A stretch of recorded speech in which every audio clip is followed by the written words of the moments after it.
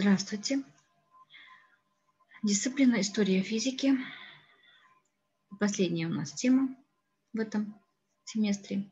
Специальная теория относительности. По плану мы рассмотрим один большой вопрос. Общая теория относительности. Иоффи, Капица, Мандельштам, Вавилов. То есть мы рассмотрим об этих ученых, какие у них открытия. И первый вопрос у нас.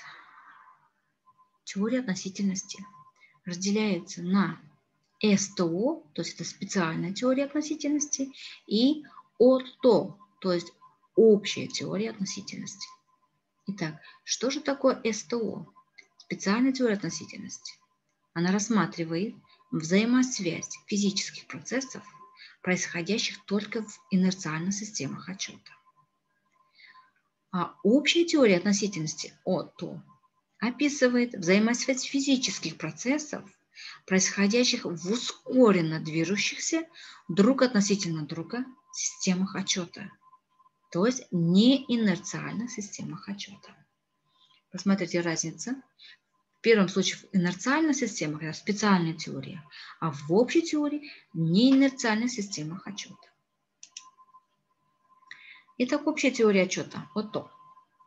В 1907-1916 годах создана общая теория относительности, которая объединяет современные учения о пространстве и времени с теорией тяготения. По масштабу переворота, совершенного Эйнштейном в физике, его часто сравнивают с Ньютоном. Итак, перед вами общая теория относительности Альберта Эйнштейна, 1915 год. Общая теория относительности или в виде математической формулы можно записать, она равняется специальная теория относительности плюс теория тяготения. Так, из чего она состоит? Посмотрите. Э, две формулы перед вами. То есть здесь работает принцип эквивалентности инертной и гравитационной массы равны. Это есть у нас принцип эквивалентность. Посмотрите, это формула F равно ma, инертная массу мы здесь берем. А в этом случае, когда мы рассматриваем формулу тяготения, теория тяготения, F равно G, масса m1 умножена m2 на r в квадрате, здесь мы рассматриваем массу гравитационную. И дает он нам принцип эквивалентности, то есть инертная масса и гравитационная масса равны. Общая теория относительности объяснила сущность тяготения, состоящую в изменении геометрических свойств, искривлении четырехмерного пространства, времени вокруг тел, которое образуется поле тяготения. Итак, общая теория относительности – делает мир четырехмерным. К, трех, э, к трем пространственным измерениям добавляется еще и время. Все четыре измерения неразрывны, поэтому речь идет уже не о пространственном расстоянии между двумя объектами, как это имеет место в трехмерном мире, а о пространственно-временных интервалах между событиями, которые объединяют их удаленность друг от друга как по времени, так и в пространстве. Теория относительности. Общая теория относительности Эйнштейна заменила ньютонскую теорию гравитационного притяжения тел пространственно-временным математическим описанием того, как массивные тела влияют на характеристики пространства вокруг себя. Согласно этой точке зрения, тела не притягивают друг друга, а изменяют геометрию пространства-времени, которые и определяет движение проходящих через него тел. Вот как вы видите на картине. Это у нас пространство. Ну, мы перейдем теперь к следующим ученым, которые были открыты, которые произвели фурор в, своем время, в свое время. Это физические открытия. Мировое признание получила советская физическая школа. Известные работы проделали. Это у нас кто? Известный перед вами э, следующий ученый. Это Вавилов Сергей Иванович. Э, он работал в области проблем оптики. Иоффе Абрам Федорович. Изучение физики кристаллов и полупроводников. Мандельштам Леонид Исакович. Труды в области радиофизики и оптики. Но и Капица Петр Леонидович. Исследования в области микрофизики. Ну а теперь рассмотрим каждого ученого в отдельности. Иоффи Абрам Федорович – Э, родился 29 октября перед вами, как видно на картине, в 1880 году, но и скончался в 1960 году. Российский советский физик. В годы войны Иофи участвовал в строительстве радиолокационных установок в Ленинграде. Во время эвакуации в Казани был председателем военно-морской и военно-инженерной комиссии. Большой вклад в развитие физики полупроводников внесла советская школа академика Иофи Абрама Федоровича. Академик э, Иофи, член восьми академий, в четырех почетный, почетный доктор пяти университетов, почетный член трех физических обществ мира, имел 18 званий в 10 странах, автор более 200 научных печатных работ. Петр Леонидович Капица, следующий ученый, э, годы 1894 родился, а умер в 1984 году. Он прожил очень хорошую, достойную жизнь. Советский физик, видный организатор науки, основатель Института физических проблем, являлся директором и оставался вплоть до последних дней жизни там же. Один из основателей Московского физико-технического института. Первый заведующий кафедрой физики низких температур физического факультета МГУ Московского государственного университета. 1978 год. Этот год был очень плодотворный. Петр Леонидович Капица – его, э, за его базовые исследования и открытие физики низких температур. Дата рождения этого человека, как я уже сказала, 94 год. Он является лауреатом Нобелевской премии по физике за открытие явления сверхтекучести жидкого гелия. Ввел в научный обиход термин сверхтекучесть. Работал в области физики низких температур. Изучал сверхсильные магнитные поля и удержание высокотемпературной плазмы. Разработал высокопроизводительную промышленную установку для ожижения газов турбодентандер называли его. Дважды лауреат Сталинской премии. Это 1941 и 1943 года. Награжден большой золотой медалью имени Ломоносова Академии наук СССР, это 59 год. Дважды Герой социалистического труда. То есть в 1945 году было э, дано это звание и в 1974 году. Построил высокопроизводительную установку по сжижению газов.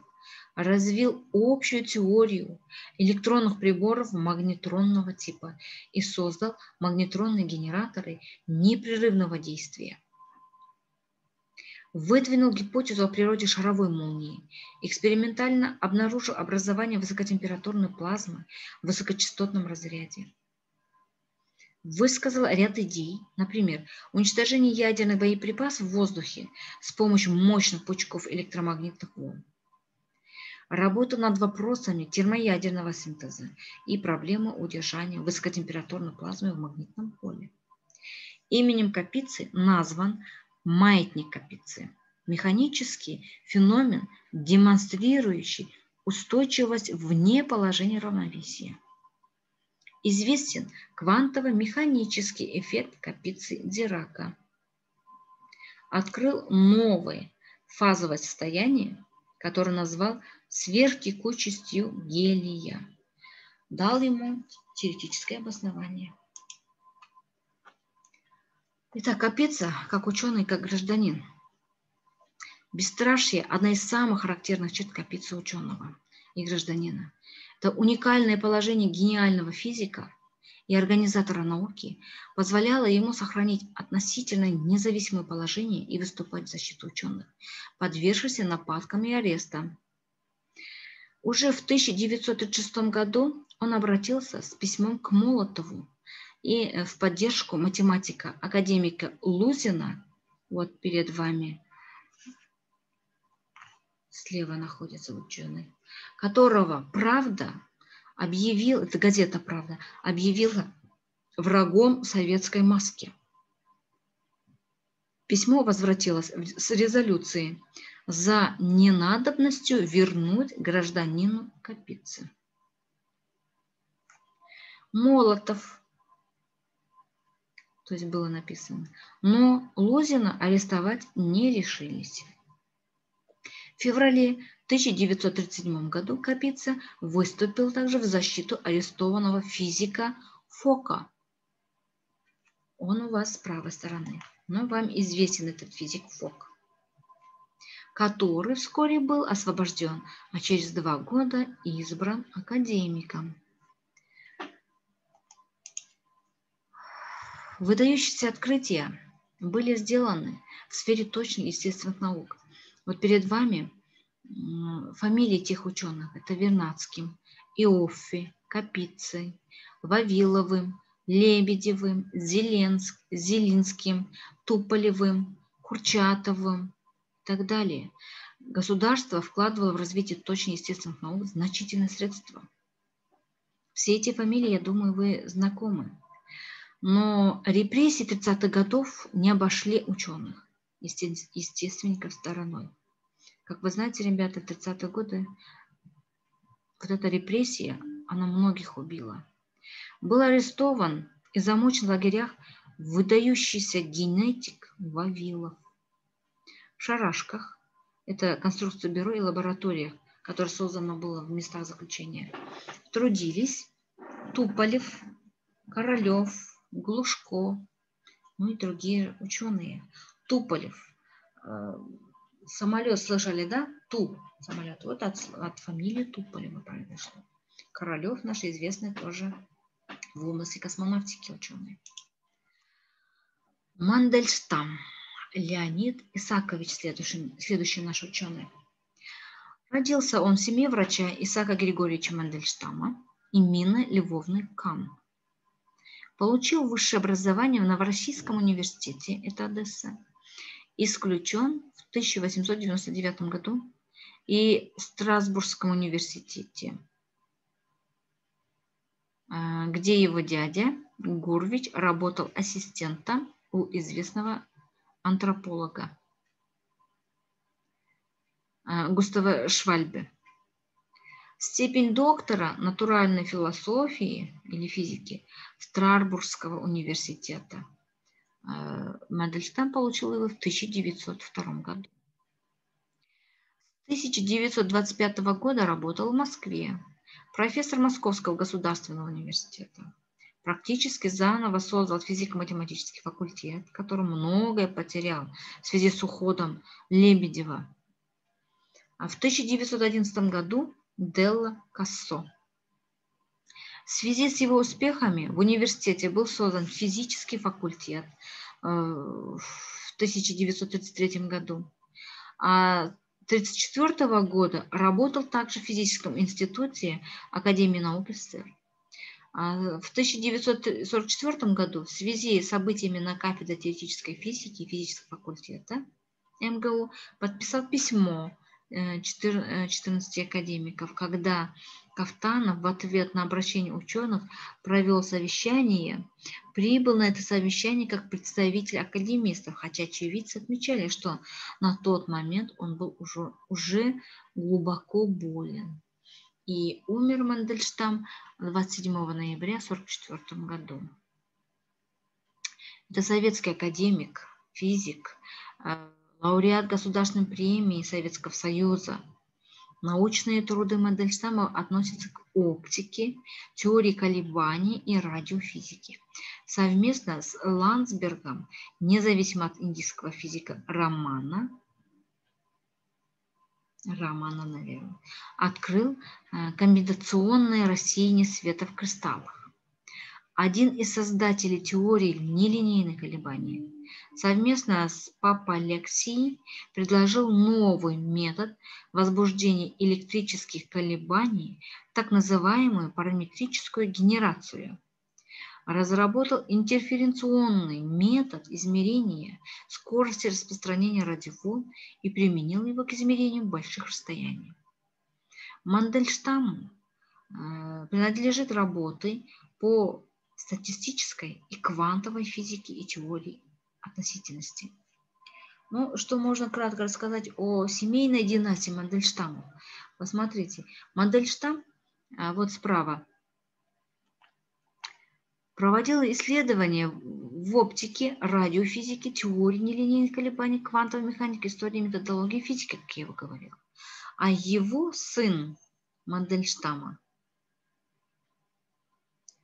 а, пошел по стопам отца, он работал в области атомной спектроскопии. Вот он, атомный. Это отец, это его сын.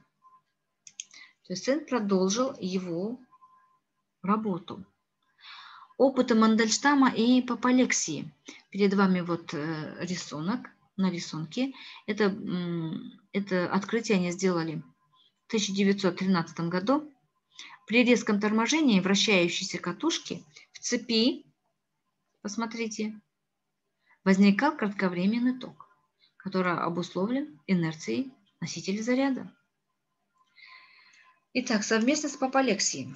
Опираясь на созданные Мандельштамом совместно с Папалексией радиоинтерференционные методы, Мандельштам решил ряд задач по распространению радиоволн над поверхностью Земли.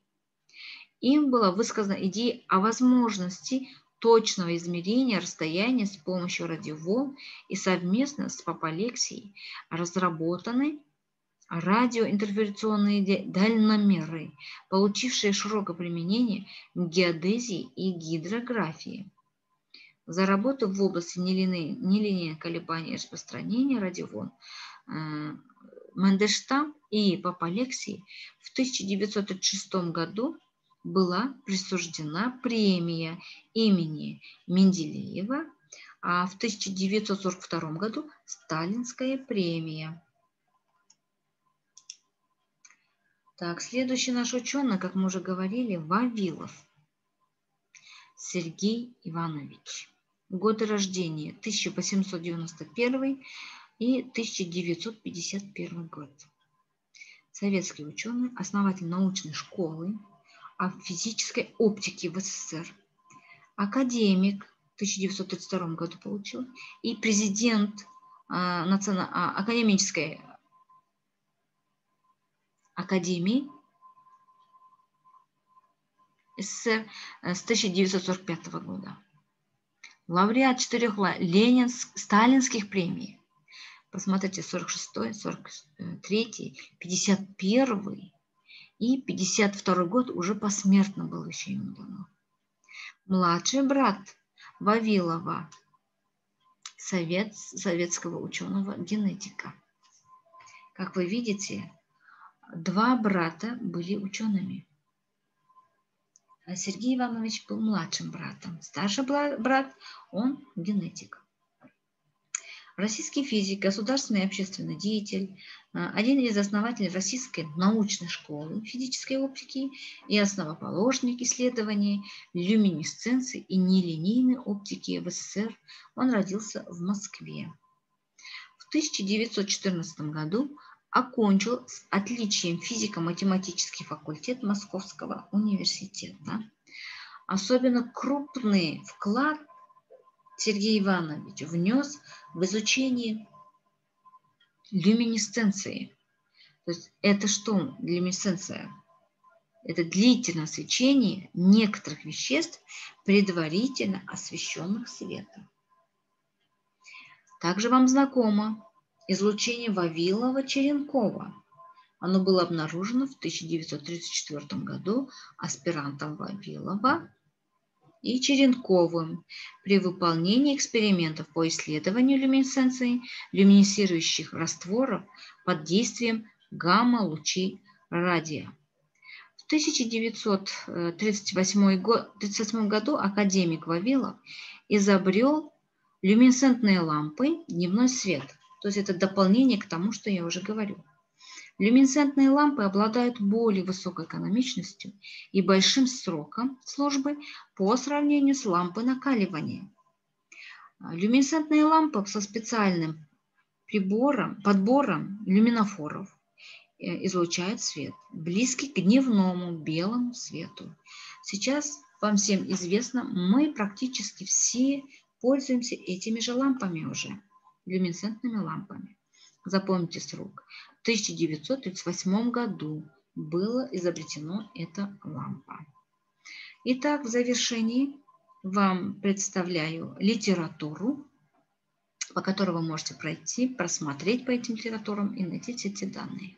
И ответить на следующие вопросы.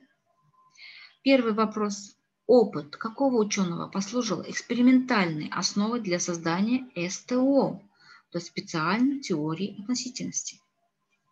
Ну и второй вопрос – общая теория относительности. На этом урок закончен.